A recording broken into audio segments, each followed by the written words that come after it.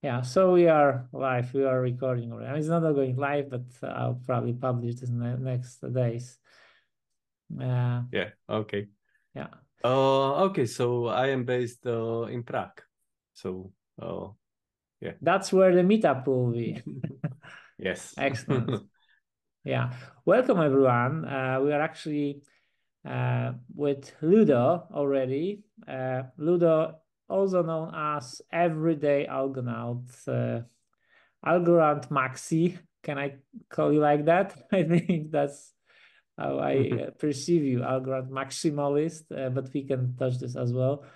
Ludo uh, Scholtz, uh, active on Algorand Forum, uh, runs several projects in the ecosystem such as Votecoin, a wallet, uh, Aramid Fina, Bridge, uh, Stabilitas, Asagold, Biatec, and many other. Ludo is also winner of several hackathons. Um, based in Prague, and uh, yeah, we had a chance to meet uh, in Wrocław when I was organizing Algosphere meetup, and we'll explore everything Algorand with uh, everyday Algonaut. Welcome, Ludo. Hello, everybody.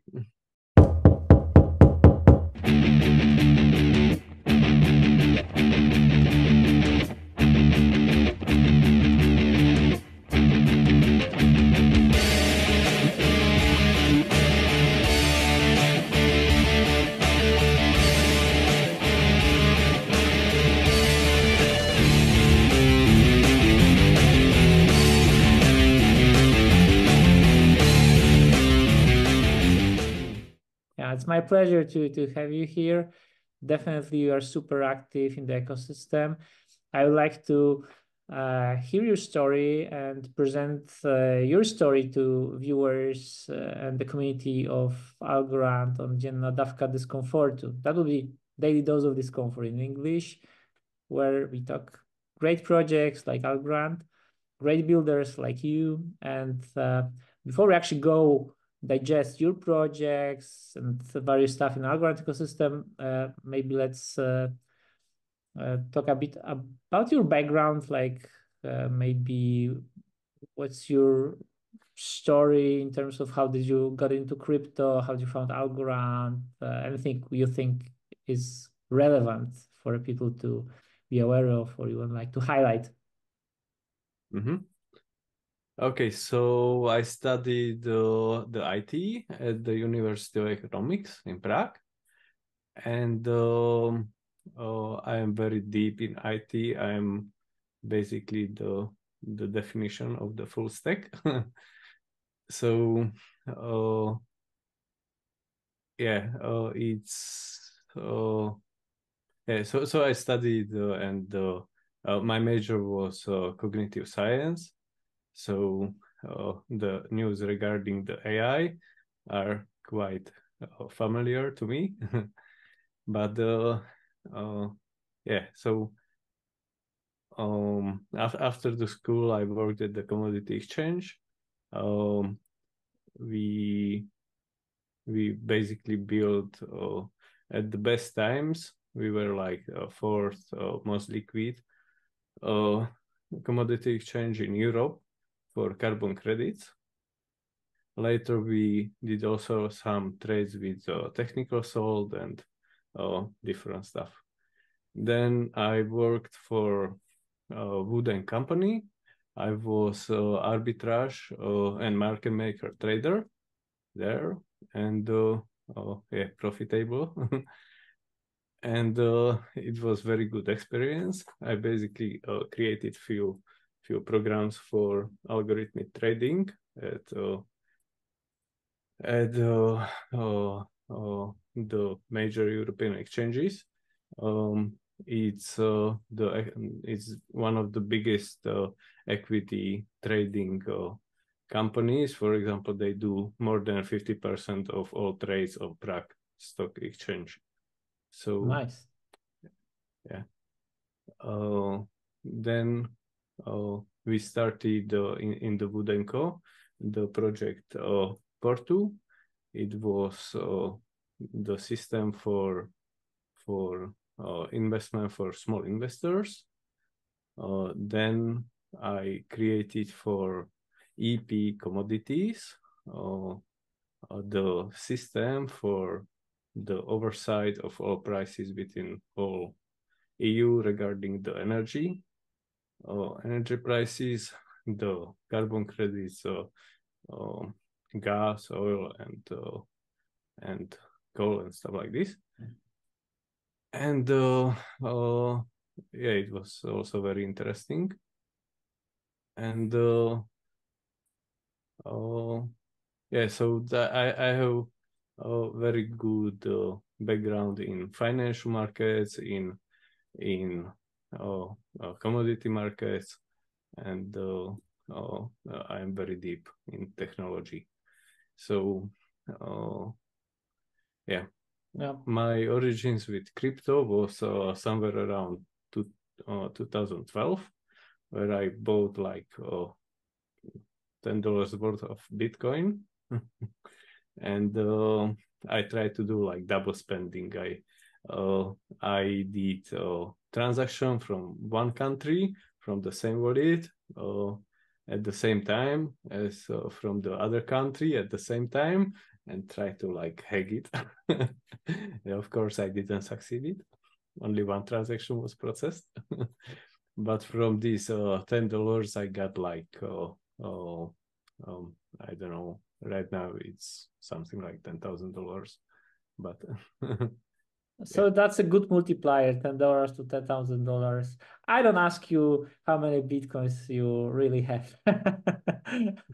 yeah, but uh, that, that's uh, good to yeah. I, I, I, wish I had invested more back then, but yeah, it's it's uh, I guess super hard to stick to the idea of Bitcoin if you found it so early it was worth nothing. So it would it, if it grew like 10 times or 100 times, then yeah, you definitely want to get some profit. But uh, it was like uh, uh, so kind of stealth mode or baby mode Bitcoin at that time that who who, who could ex- who could have expected like what it would eventually become today.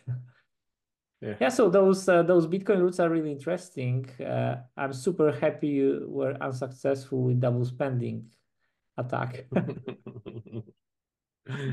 yeah oh hey it was just light oh yeah. I, I didn't research it uh, very very much into that, but uh, this this is really uh, like the origin of the bitcoins that uh, you must not be able to do like double spending. So yeah, uh, for sure. Uh, so also you're like an industry, like you said, commodities, energy prices, market making, carbon credits are like uh, it's a pretty uh, crazy list. I mean, diverse list. So uh, not only technology stack, but I'm pretty sure you also tackled many kind of uh, industry specific uh, topics. So super helpful and some of things uh, which you... I, I I know all with specifications, for example. so yeah. Uh, yeah, uh, I know I know commodities quite into that, for example.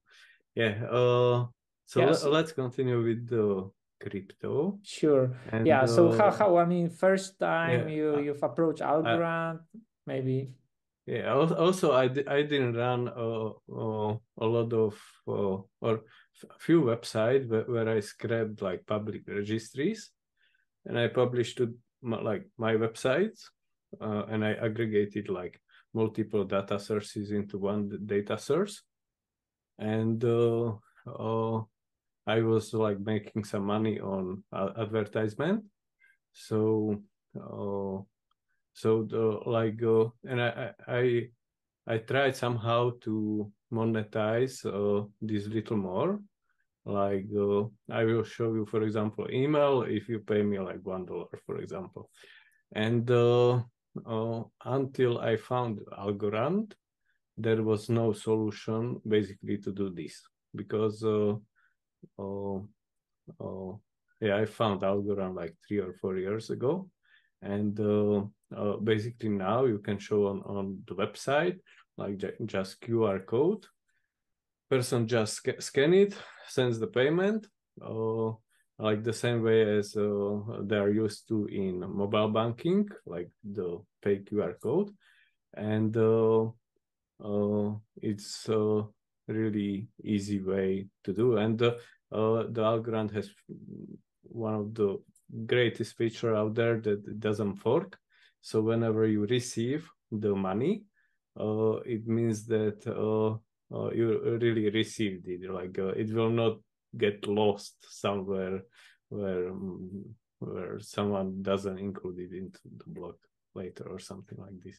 So whenever you receive the assets, uh, you can be 100% sure that the the the uh, you have it on your account and you have access to these assets. So uh, I think this is one of the great greatest fe- features of Algorand. And uh, it also implies that the the coding is much more much more simpler because, for example, if I would want to accept like a Bitcoin transaction, like uh, it would be more complicated because uh, uh, okay, I receive this and I have like uh, 20 confirmations and uh, I have to wait for some time and uh, then what what if someone uh, do the fork right? And uh, uh, it somehow doesn't get included into the blog and i have to include it manually and uh, and it's it's much much more difficult. So yeah for for uh, sure bitcoin is not good for a small transaction but with lightning network you can you can do them. So uh, it's also uh, pretty, pretty cool. yeah, but I, I, like Algorand, the, the same same like alternative to the Lightning network because uh, you, you have uh, like the the BTC on Algorand, like these wrapped bitcoins on Algorand. There, there are like uh, one from Gomint and one from the wormhole uh, BTC.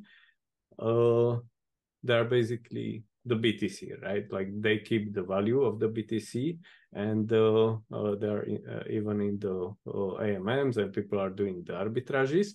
So, uh, so uh, it's it's it it keeps the value, and you have all the features of the Algorand, but with Bitcoin, right? And the Lightning Network, you can send instant tra- transaction, but it's not stored anywhere on the um, um, on chain. Like uh, if some server which holds uh, the the Bitcoin goes uh, down because of corrupted hard drive, then uh, your Bitcoins are basically lost. So, yeah. Yeah.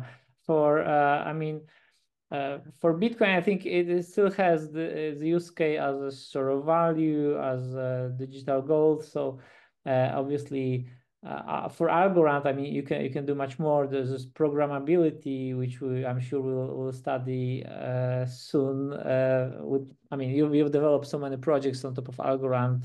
You cannot do that on on Bitcoin. You can theoretically do that on Ethereum, but Ethereum on layer one is like too slow, too expensive.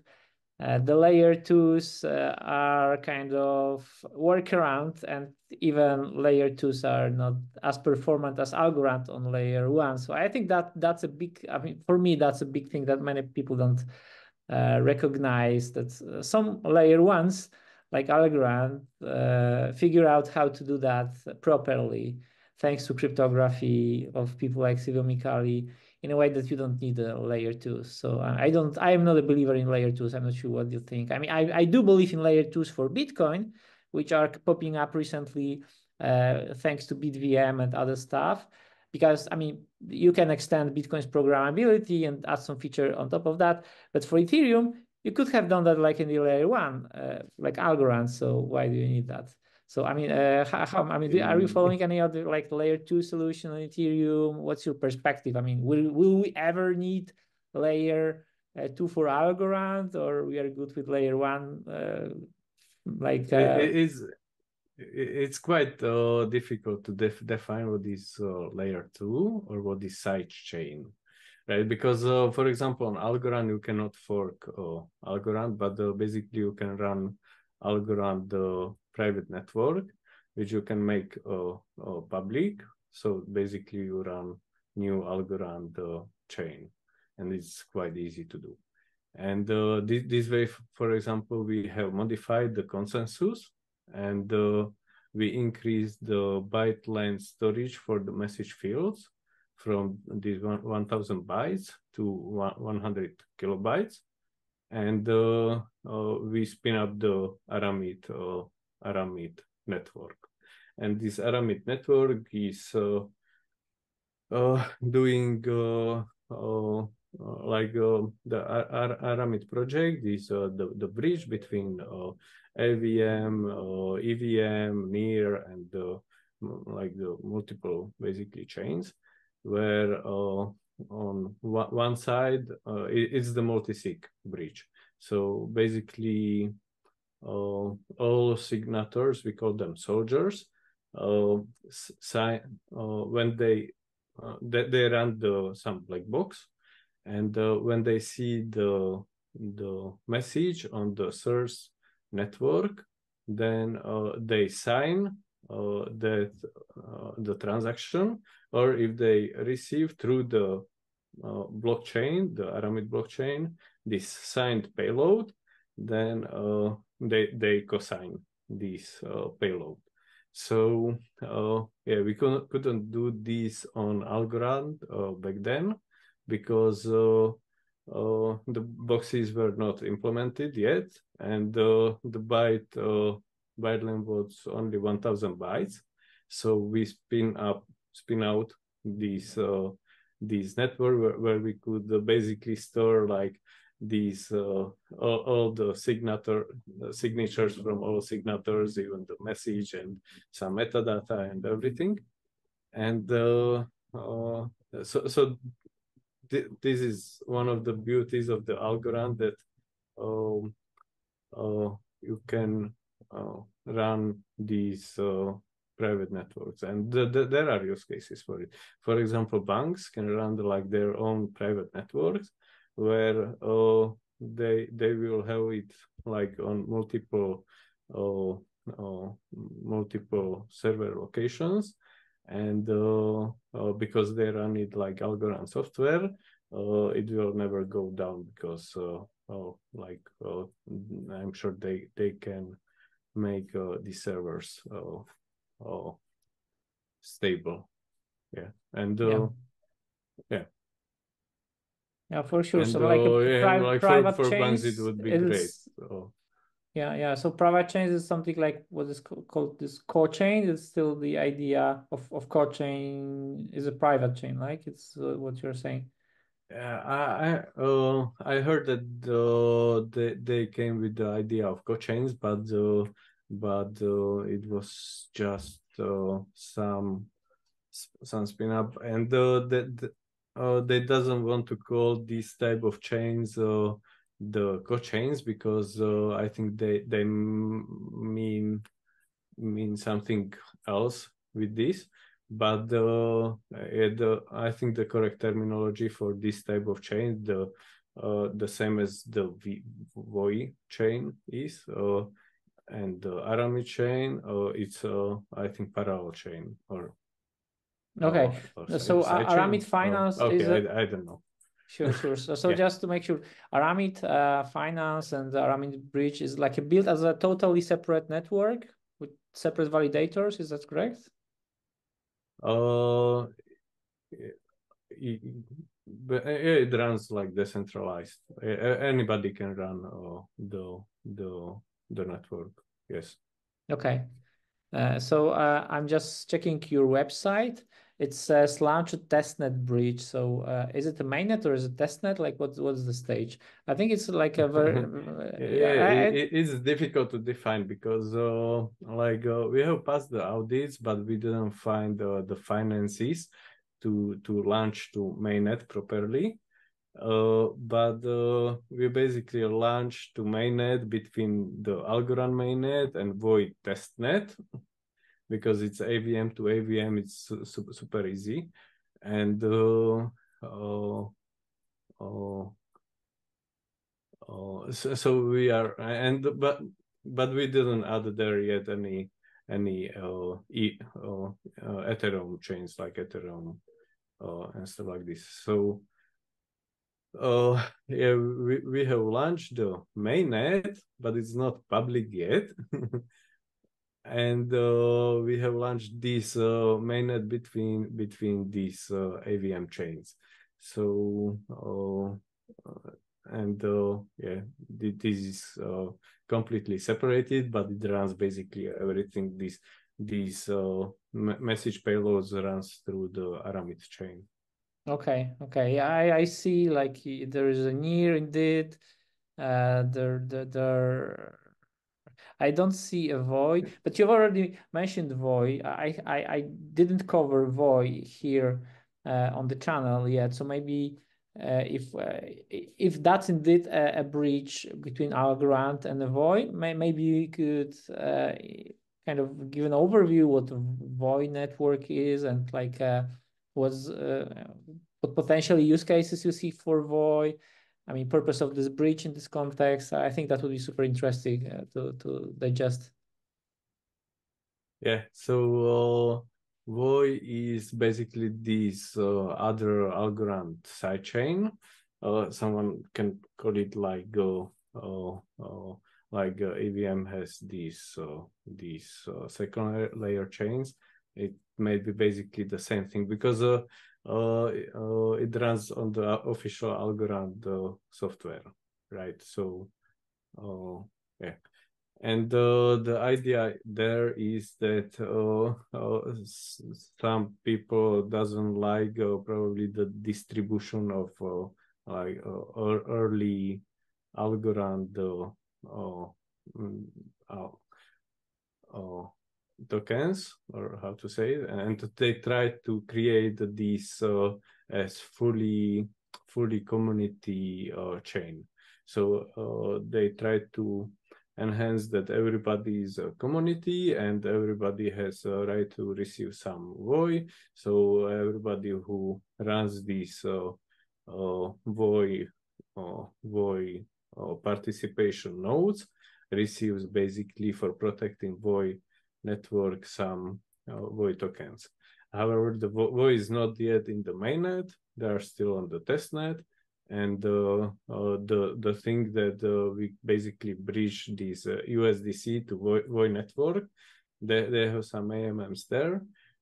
Uh, it's it's it's very and, and also the Voi is bridged to the Algorand uh, everybody can see the price of the Voi void test token. And uh, th there is going to be some distribution from the Voi test tokens to the Voi mainnet tokens because uh, they try to do everything like uh, uh, the community driven. So it's going to be somehow distributed and price will probably go down because there are going to be like 10 billion uh, new algos and it's going to be like uh, uh, from the Bitcoin perspective, like when there was like this uh, main Bitcoin, and then there was like this uh, this uh, uh, uh,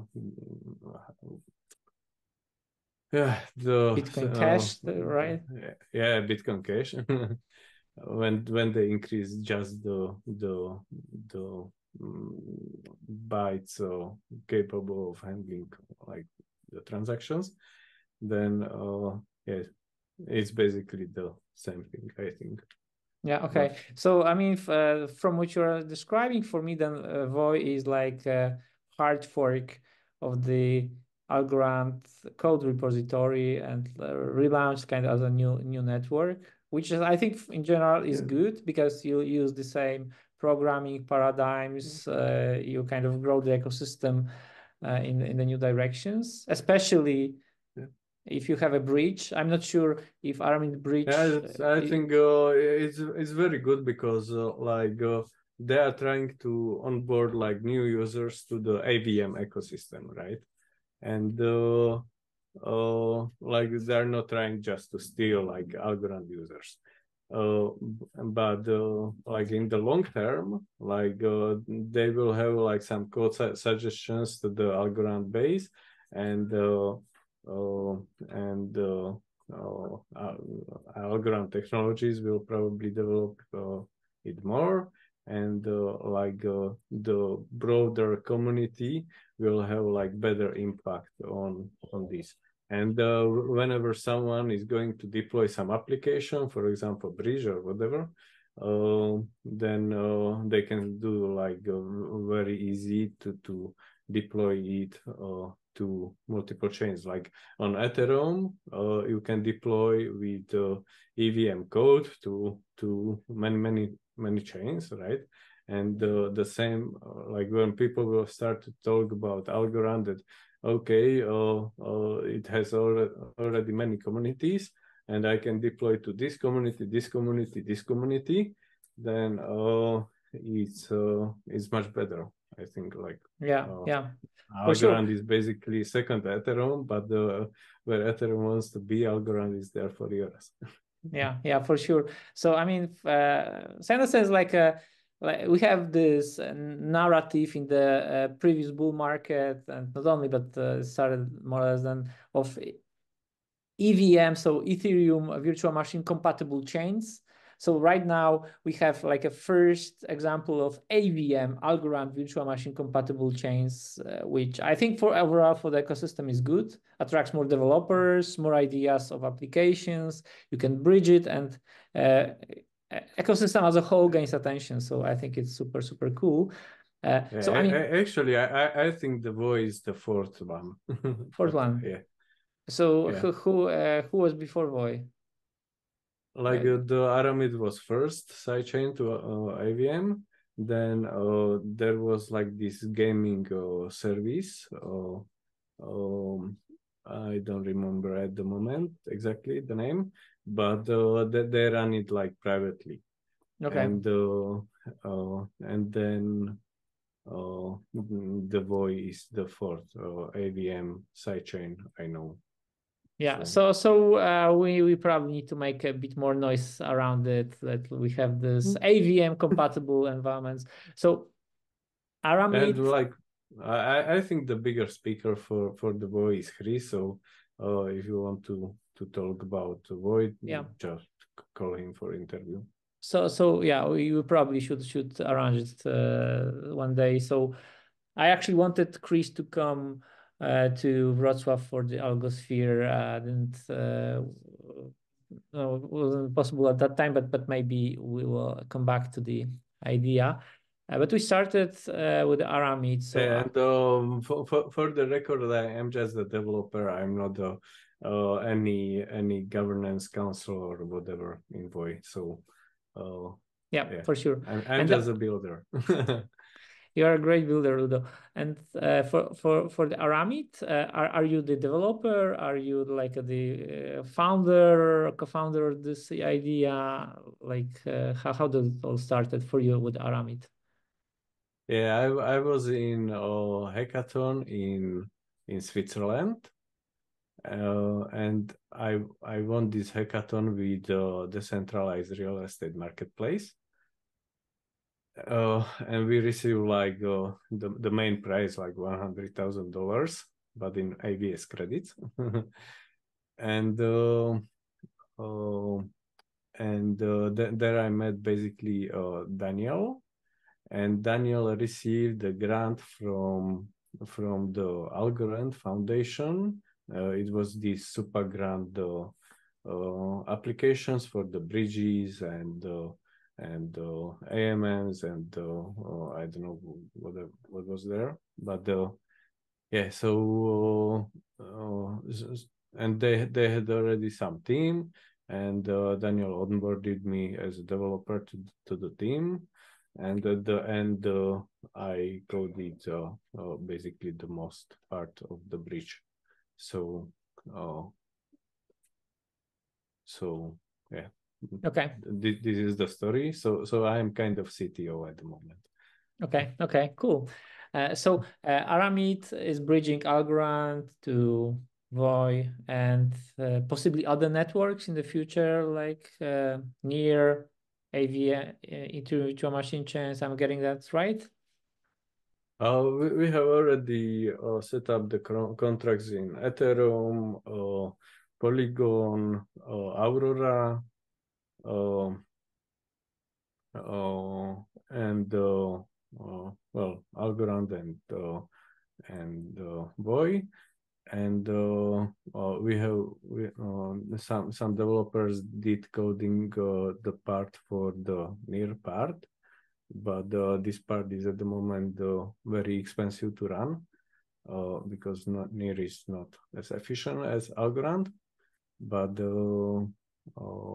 Mm, so, so uh, when, when we are going to launch pretty soon to the mainnet, hopefully, then uh, this is going to be question if to, to launch to near as well because uh, each uh, each of the soldiers ha has to run uh, this uh, black box application.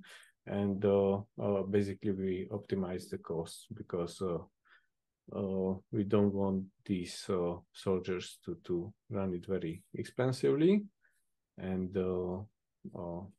yeah so yeah, like the if you want to speak uh, about the the Aramid, I think the best uh, person to speak is Daniel, and uh, Daniel okay. will have more. Yeah, more I'm I'm trying to also, also the information when when when we go uh, to to mainnet.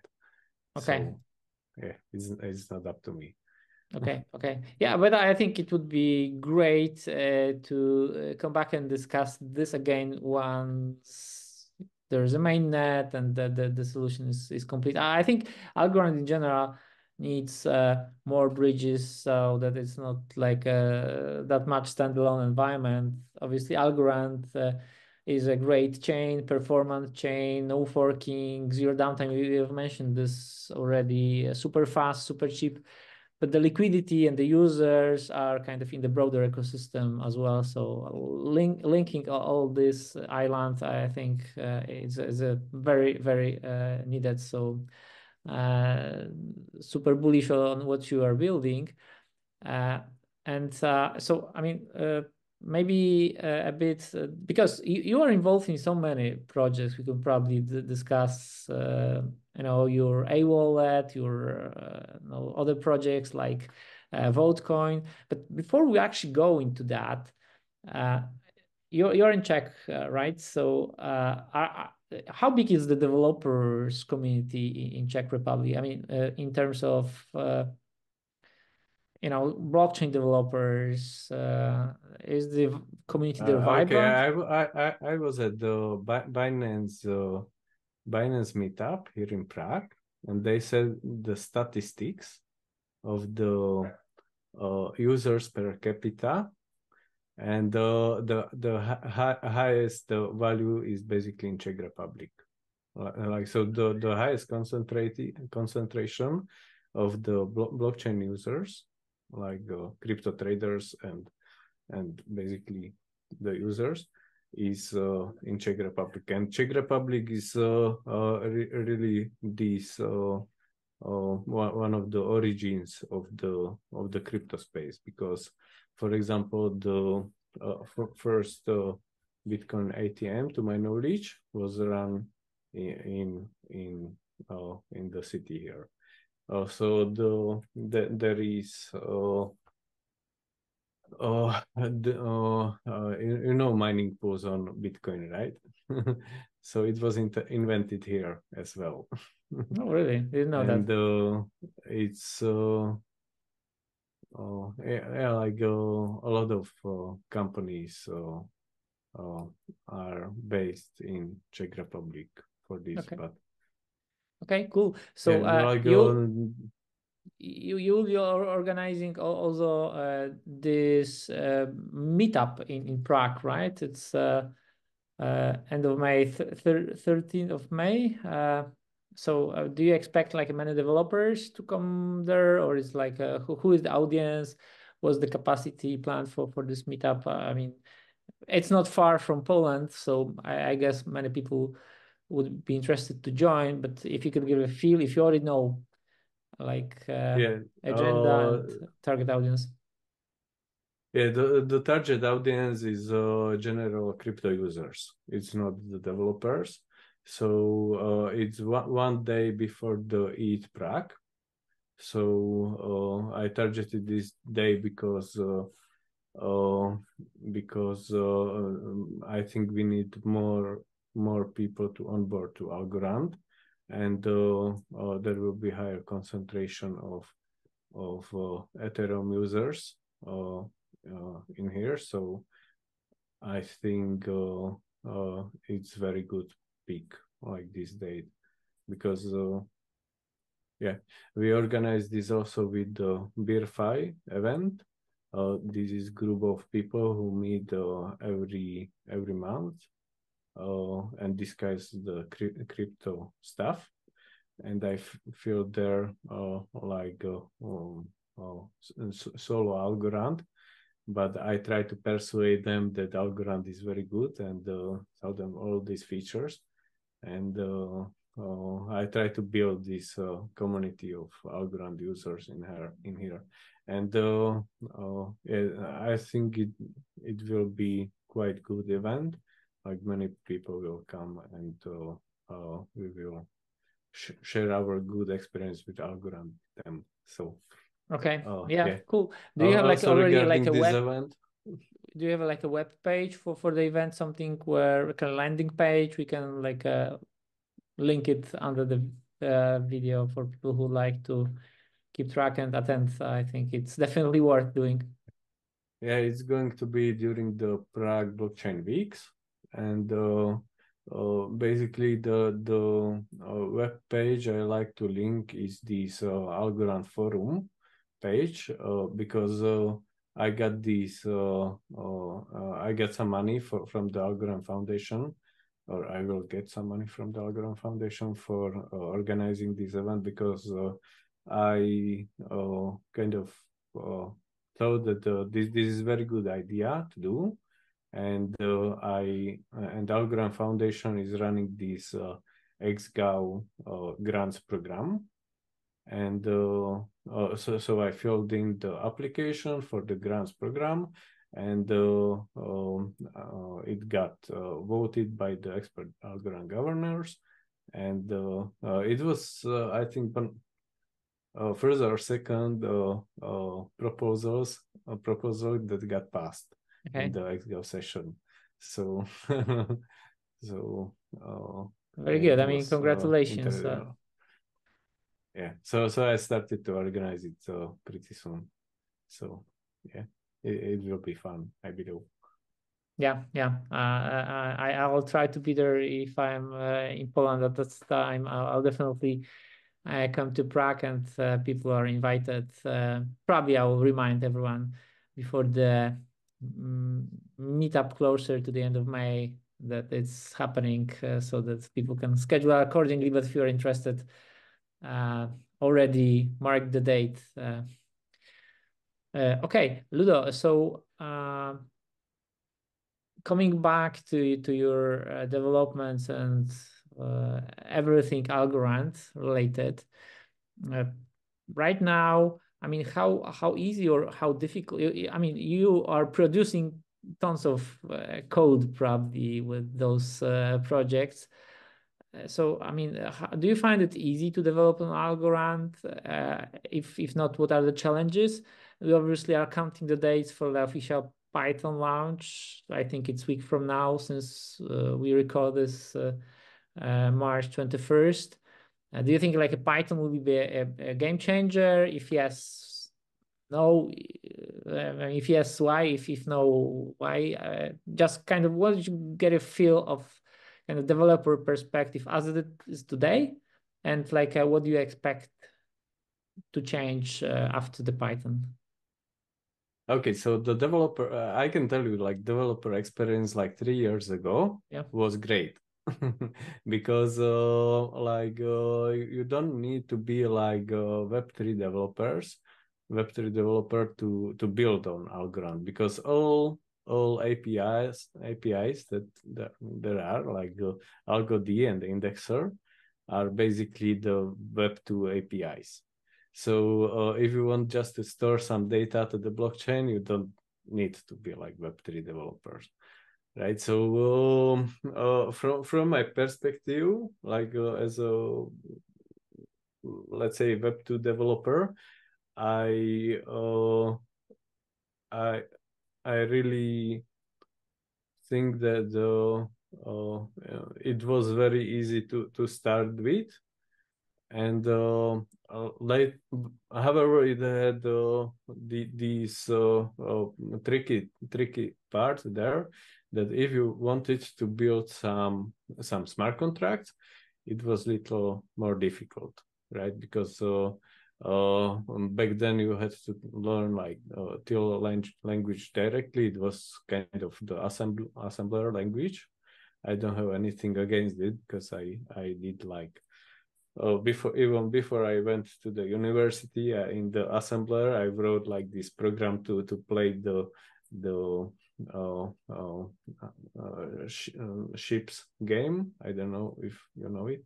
Yeah. But the, you you pick the ship and then the opponent goes picks the the location on your board and uh, and goes like this and i even created like some random number generator there because uh, because uh, uh, I I played the, against the computer, right? So uh, it, it, was it was fun, but uh, yeah.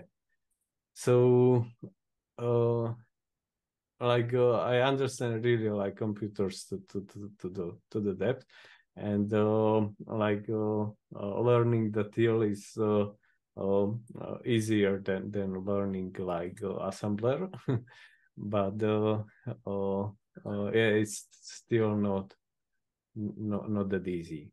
Later, then then there was like this Python, and uh, a lot of people started to code in Python, and uh, uh, uh, it it was much better user experience. Uh, with Diatomics, we wrote this uh, impermanent loss solution for Algorand be between the the Vestige and uh. And uh, then then uh, uh, yeah, like uh, a lot of things uh, in my early Algorand careers, I didn't even do like smart contracts because I really didn't need to like uh, the VoteCoin project is just the set of JSON schema specifications, how you write the data to the uh, to the transaction note field. It's su super simple and it's scalable basically infinitely. Uh, however, it doesn't count the the votes uh, automatically. So uh, yeah, but the the idea is that the voting system must be auditable and uh, uh, like the idea of like this is the core idea of the blockchains that uh, you don't mess with the past data right so if there is anything stored in the blockchain it's stored there forever and if you get uh, like uh, catched in cheating like this will be your like bad bad bad mark forever basically. So uh, so uh, yeah like this transparency and uh, and uh, uh, auditable auditability is basically the core of the uh, VoteCoin uh, uh, system and uh, basically the Algorand governance which was uh, created basically later uh, uh, is using the same system. The governance you just write to the note field, the information how you, how you vote. However, the vote coin, uh, vote coin also create this schema like uh, to ask a question, not not just to cast the vote. Also, the vote coin uh, create JSON schema how you can delegate uh, your voting power to someone else. Also, it creates like standard how you can encrypt the voting ballot, and uh, uh, um, and only the the person who who asked a question until he reveals the mnemonic of the of the this private key which is encrypted everything with then uh, nobody knows like uh, uh, who how uh, uh, voted.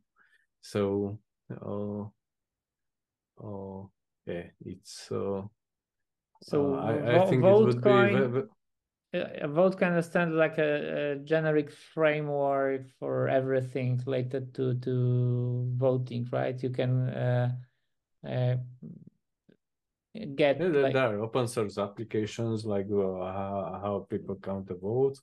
There are uh, uh, everything is basically open source, even the standard itself. So uh, yeah. yeah.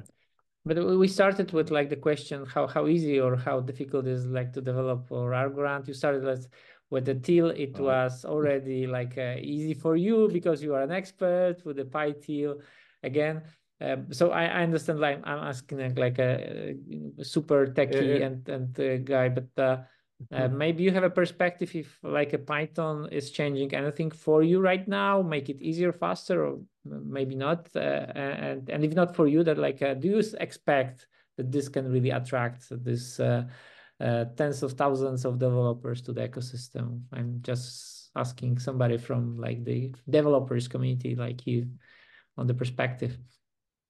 Yeah, I, I don't want to break much uh, Algorand marketing, but I, I don't like Python very much because of these uh, wide uh, wide intending things.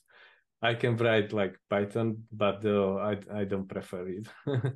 and uh, uh, uh, the I I think that uh, it's very good that very very large uh, um, uh, among like uh, very many people who doesn't do JavaScript, for example, but they can do like Python, can can write uh, the smart contracts by themselves.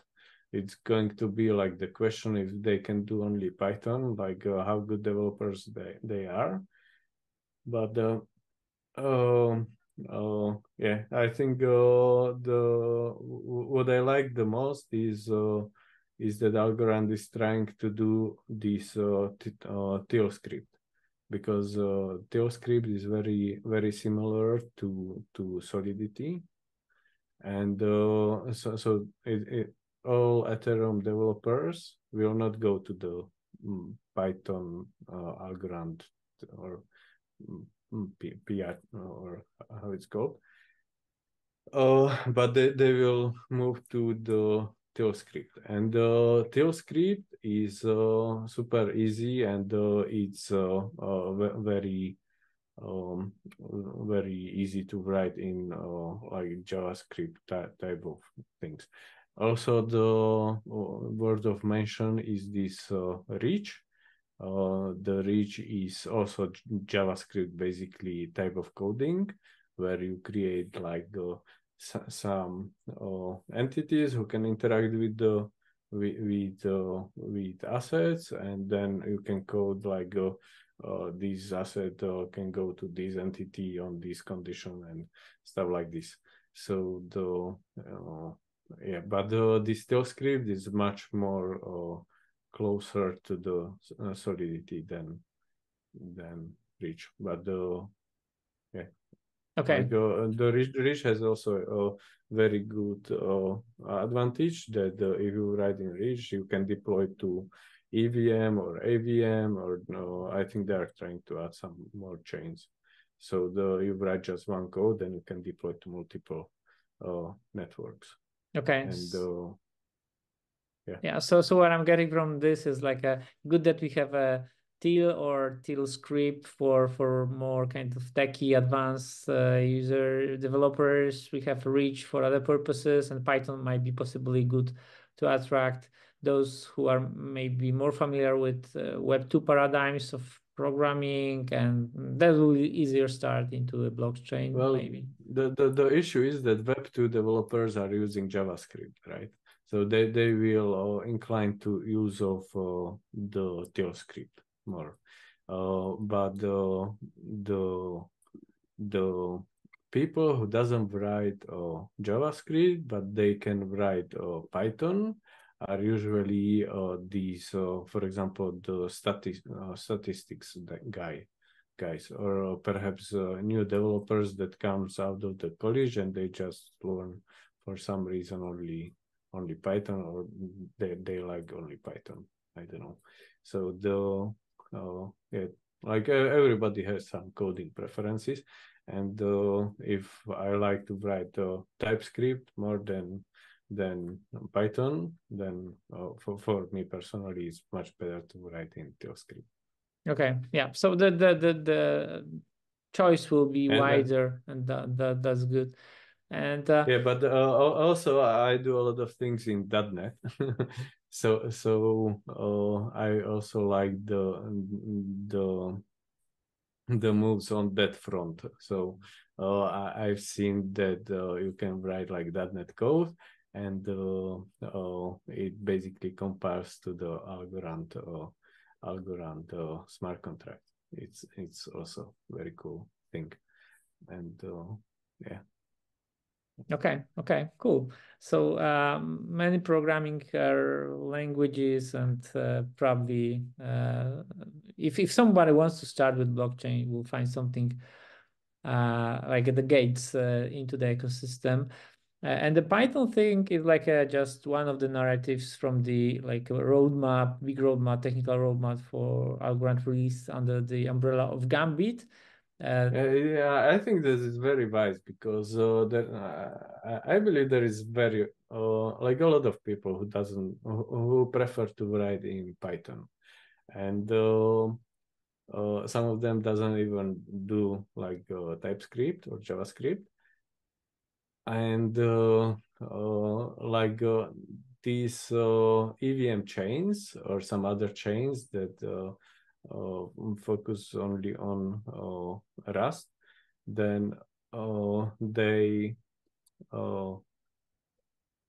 like they're, they're losing the audience. Like not a, a lot of people write Rust, right? So the, there is much, much many more uh, like really many more people who write uh, Python than Rust. So uh, Oh, yeah, I think this will be like a, a good, uh, good upside, uh, upside pressure for the Algorand price because like uh, when people will come and we'll see that uh, people uh, it's easy to write uh, even smart contracts. And uh, when developers come and they will see that uh, you don't have to write even smart contract and you can be like a web3 developer like interact with the blockchain without any uh, smart contracts. That's uh, that is really cool. So. Yeah yeah for for for sure. And uh, yeah i'm just looking on various uh, stats and definitely uh, Java is number one most often, but Python is number two in terms of like uh, popularity of the programming language. So I, I think that's just a question of of of uh, scale. So if you uh, reach out to millions of developers and some of them will get interested in Algorand, uh, some will start programming. Uh, some of those dApps will eventually go to mainnet. Then, um, I mean, the, at some stage, uh, you know, you get the traction, you get the kind of network effect within the ecosystem. Uh, somebody will come up with an innovative uh, idea for a new application. So I think that's in general that's good. So uh, extending the uh, the narrative to much more developers than we have today, and we'll see like the, what what are the uh, fruits in the coming weeks and, and months that that's my perspective but gambit is like uh, much more than like gambit so the new roadmap it's it's algokit 2.0 uh, it's python but but there's also some very important changes to the uh, network consensus the incentivization mechanism uh, to we're shifting into new uh, network uh, architecture in general. Maybe we you could tell a bit uh, about uh, what are you most uh, kind of looking forward in terms of the roadmap update? do you like the, I know, shifting I mean, elimination of the need for relay nodes, going to peer-to-peer gossip network. I mean, just give your, ex. you know, I'm not sure if you are not if you are a node runner, if if you you also work on the infrastructure level, but I would be curious to to get your perspective on on on on this uh, technical part of the roadmap in terms of infrastructure. What's good, what's bad? Yeah. So so um, uh, as I'm relying on the runner uh, in few countries, um, and uh, I basically came to Algorand uh, uh, to uh, and and try try to propose them. Okay, please split this archival part of the relay nodes with the networking part of the relay nodes, right? Because th these are basically two absolutely two different things. And uh, I'm very happy that uh, the, in the last uh, last uh, um, last the release of the AlgoD, I think it was yesterday or two days ago, they they finally uh, like uh, claim uh, wrote that the it's like uh, fully supported to run the archival uh, archival non-relay node and uh, and stuff like this. So this part is basically done, and I think this is very good for the Algorand ecosystem because you don't need to store all all data of the whole blockchain on all computers out there.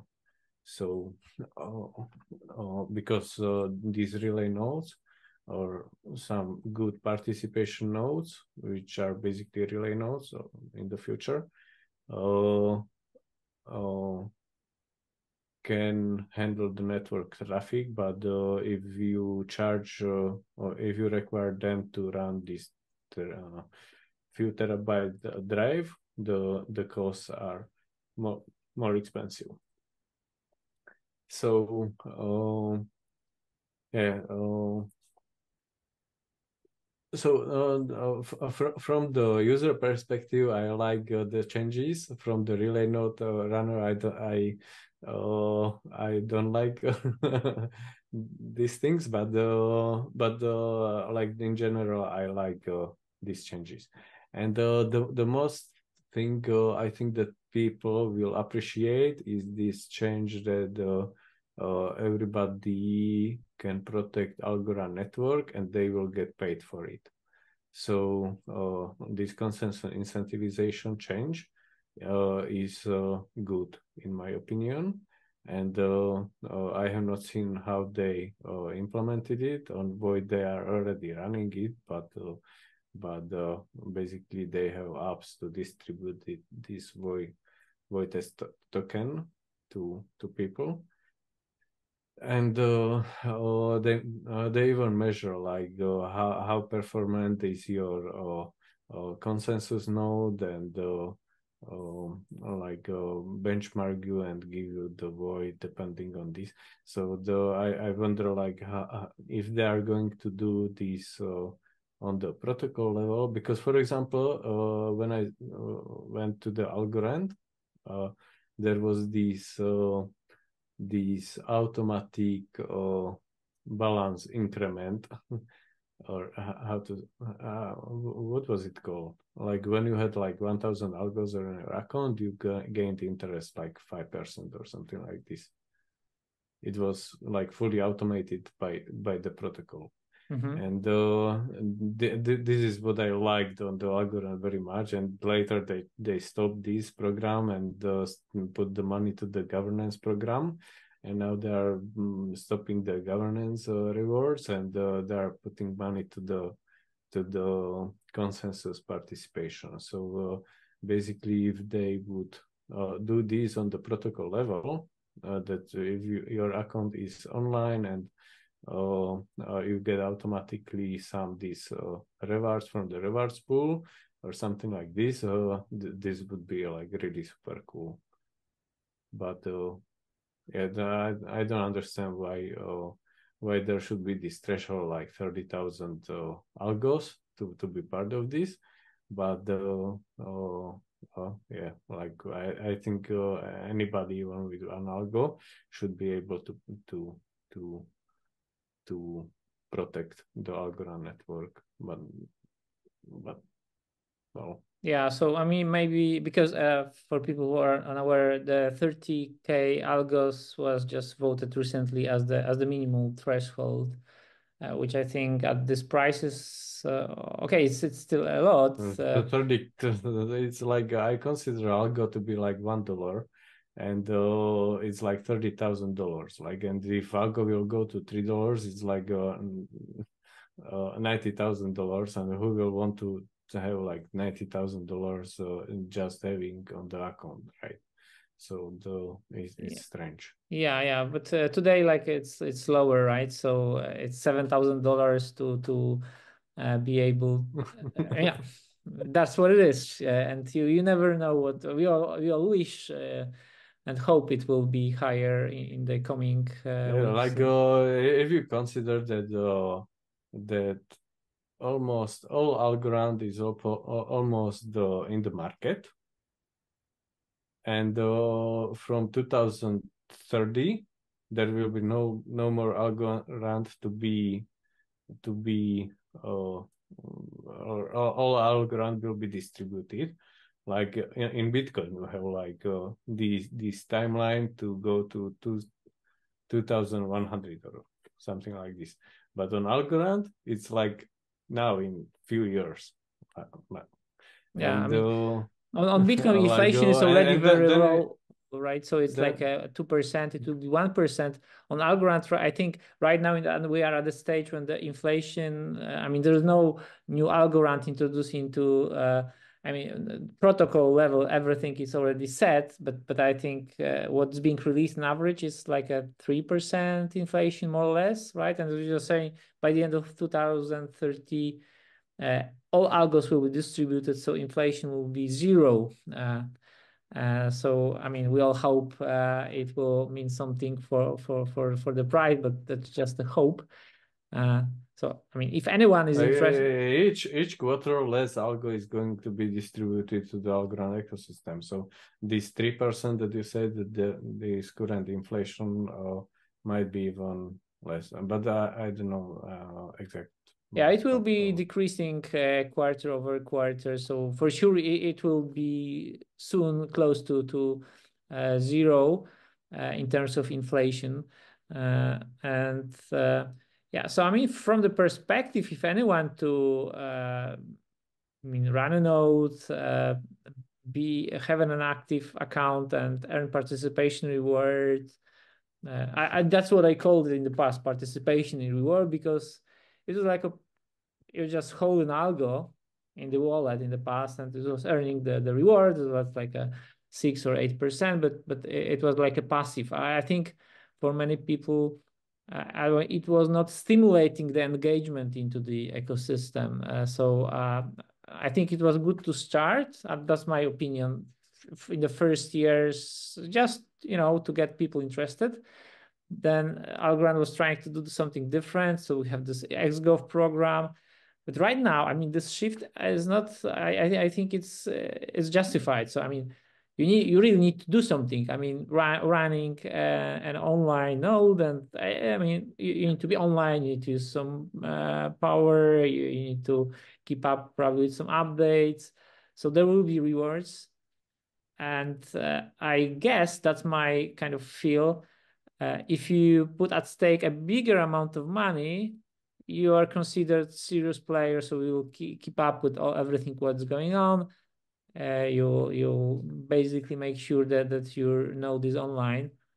Uh, what from like a network predictability perspective, having like a tiny players with a 10, maybe not 10 not 10 algos, but 1000 algo or 500 algo who just tune off and tune on the computer, I think it could have could could destabilize the network if we will have too many people with a small algo who are part of the. I don't know, but that, No, that's no, what no. The, the it will destabilize the network if people will run it at home computers.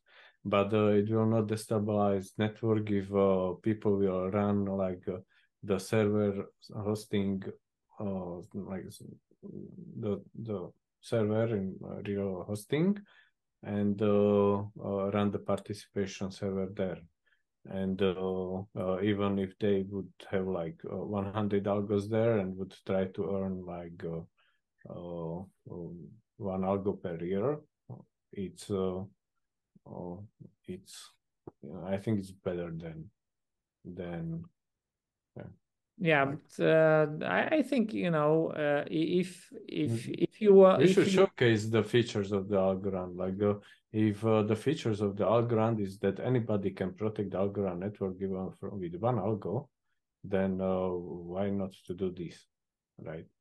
So yeah we'll, we'll see. Maybe maybe this 30k is a starting point and I, I think it's like a parameter you could adjust it if the community votes it again. I don't know. We'll see for sure that that's a good opportunity for people who want to uh, be part of this uh, new network architecture and actively uh, earn rewards that there will be a, a chance uh, to do that uh, Ludo, maybe one more question. that's actually a question from a community member from Telegram. I've asked people like Ludo will be in the show. What, what uh, questions do you have? So one of the questions was about the uh, A wallet, which is um, open source wallet. I think you you are the key developer, only developer there. I don't know, but uh, it it provides this uh, multi signature capabilities. So kind of multi sig is like I don't know if other wallets have it. Or if you you are the only wallet uh, right now with a multi-sig. So uh, do you see attraction for, for this feature? I mean, uh, how, how it's being used? Uh, and uh, bigger question, like what's your plan to make this wallet more popular? I think it's a good wallet. I think it's functional. Uh, I mean, maybe maybe it's missing some UX uh, feature, but but I think you know you you as a father of of this product should kind of uh, push it uh, to the uh, know push it up to to make it more uh, visible. It's a good product. So maybe let's start with the a wallet a bit like an overview uh, and then also the multi-sig and maybe also some ideas if how you see the future of the product. Yeah so the the the Avo, the origins of the A wallet was uh, back like three years ago, where there was uh, only one Algorand official wallet. It was called Algorand wallet, later renamed to Pera Wallet, and it wasn't open source. And uh, I tried to write on the Algorand forum uh, when they are going, where are, when are you going to make it open source? I want to help you translate it to Slovak language and uh, uh, they replied, "Oh, we will do it like uh, in one month or in two months or something like this." And uh, when there was uh, nothing going on after this deadline, then I decided, okay, let's do like a really simple Algorand wallet, like uh, it's basically Web two applications because you just interact with the with the APIs, right?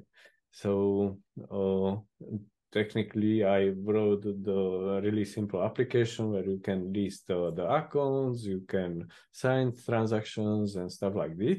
And uh, i think even from the origin i, I added there this uh, multi-sig uh, feature.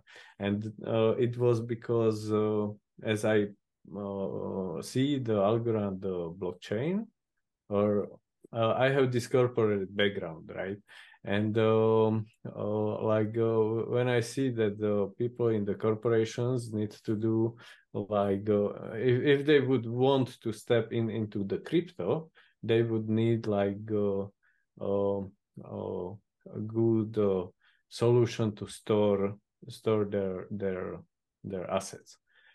And the um, so they, they have basically two things like custodian wallets like uh, for example the coinbase can manage them funds or they have solution like uh, self custody thing and now with the self custody thing is this one developer going to steal all my funds or not?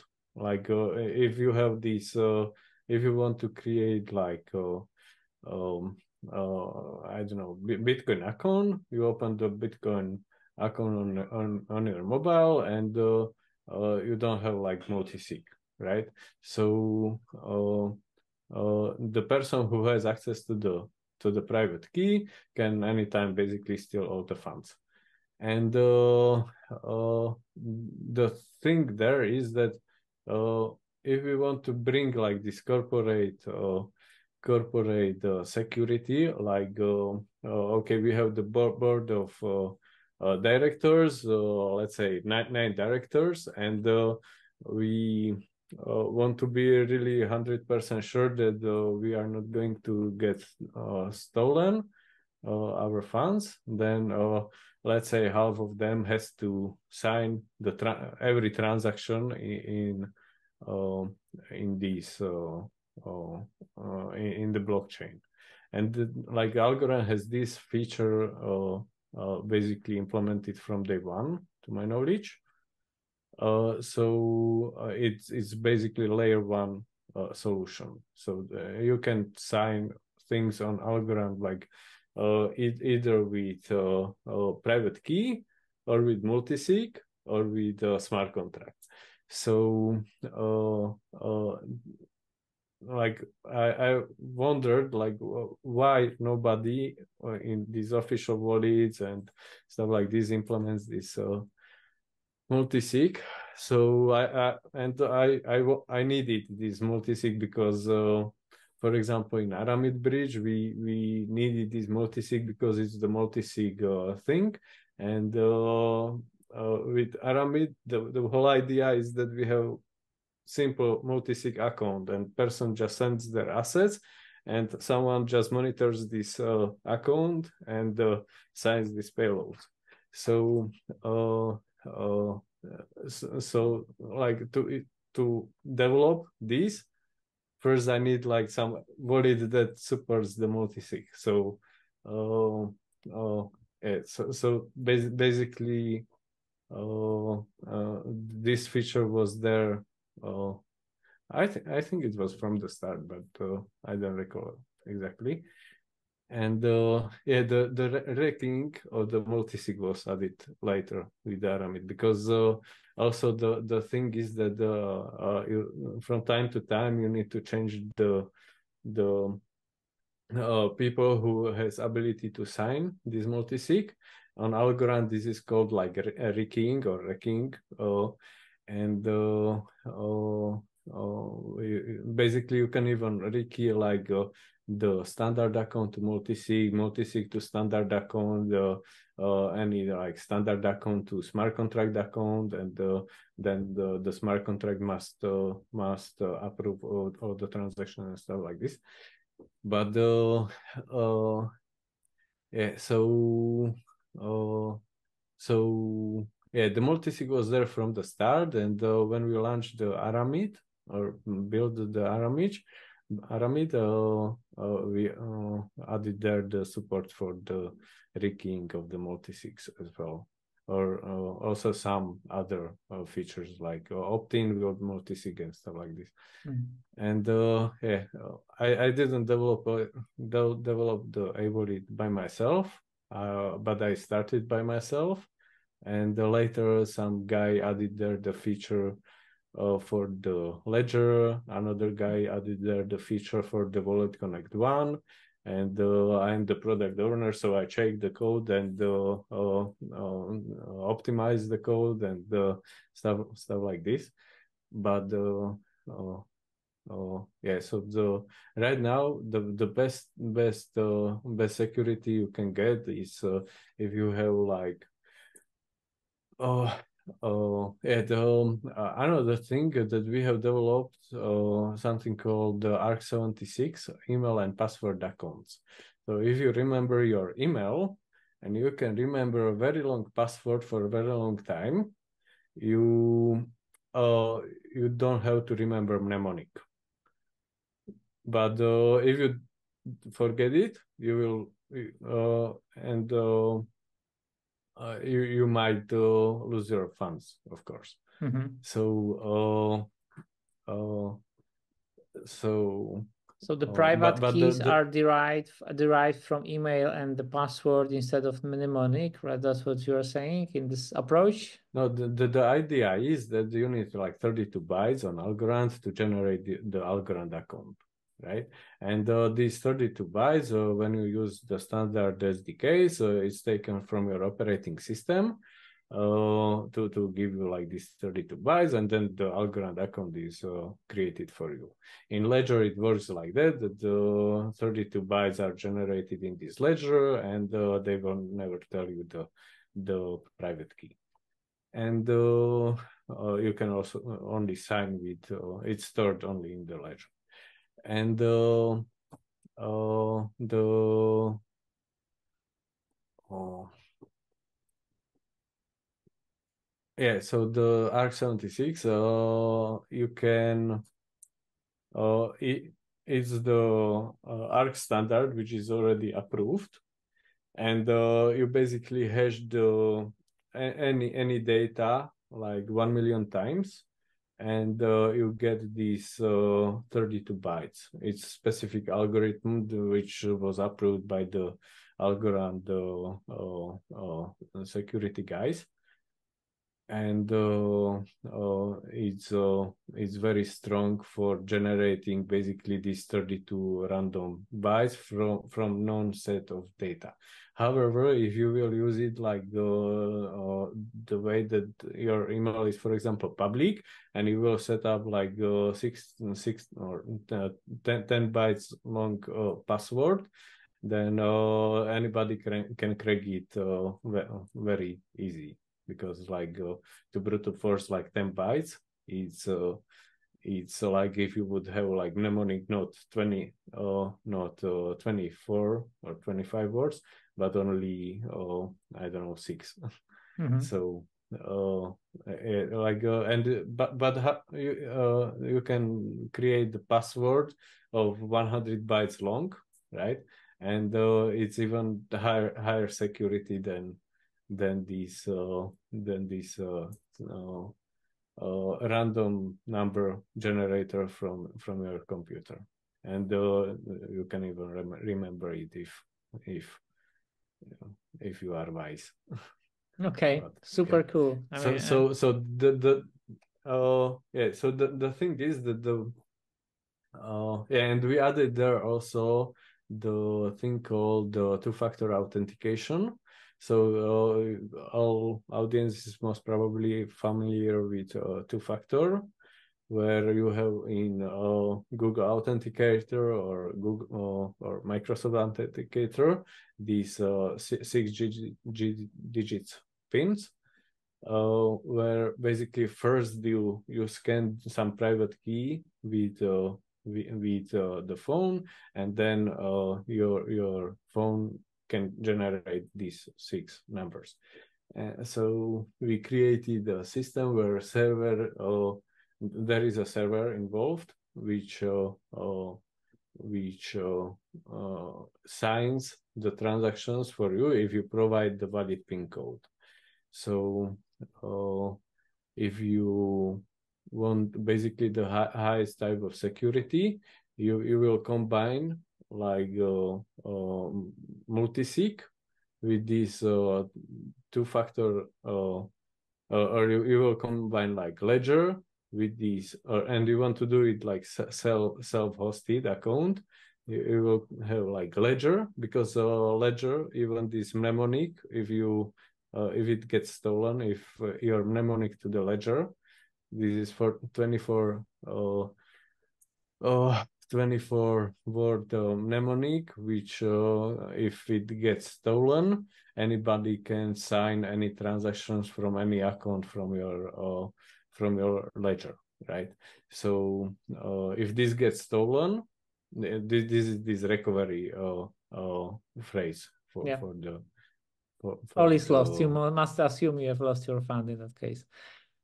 Uh, uh, like uh, yeah but Yeah. uh, even if someone steals this uh, from from your vault and uh, uh, you have this, uh, for example, password stored somewhere on the computer, uh, like uh, somewhere where people will not expect it to find, and uh, uh, yeah, like it, it can be really anything, like uh, even oh, whatever, like uh, random bytes or or yeah.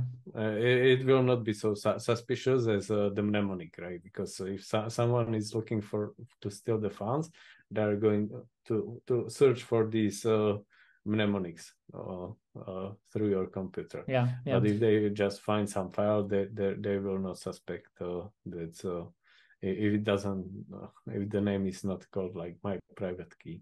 Yeah yeah. So that that's actually a smart way a kind of alternative way to uh, yeah, secure so the it, funds. So that that's, that's if you, if you combine in the multisig these uh, these uh, one way of the random number generator in Ledger, second uh, in uh, in this ARC76 that you are wise enough to generate this this uh, password, then uh, you can basically reach the highest type of uh, the security.